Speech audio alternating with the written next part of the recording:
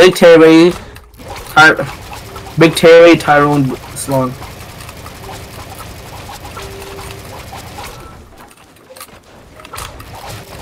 Uh huh. I hope they know. Oh.